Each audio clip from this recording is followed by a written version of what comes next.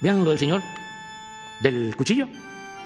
Yo ni lo conocía, ni a su hijo, no tengo el gusto de conocerlo. Pero de repente, ahí está, aparece.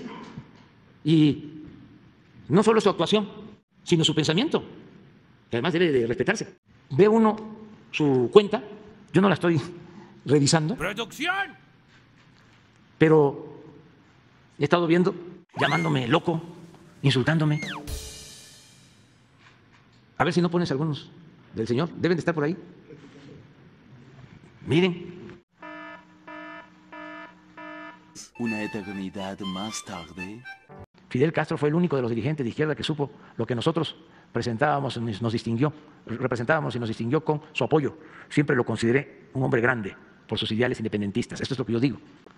Y él le pone, sigue de hocicón. Y nos cae la devaluación. Lo del cuchillo, pues, ¿qué recomendación hago?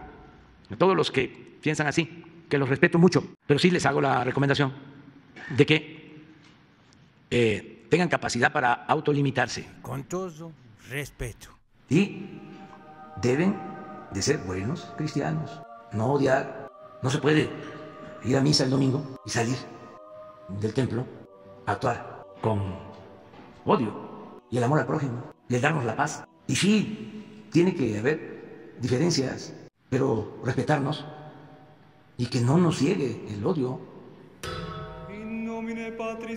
Somos todos seres humanos, somos hermanos, mexicanos, apostemos a la fraternidad universal y que no estemos eh, solo fingiendo, no es un asunto de disculpa.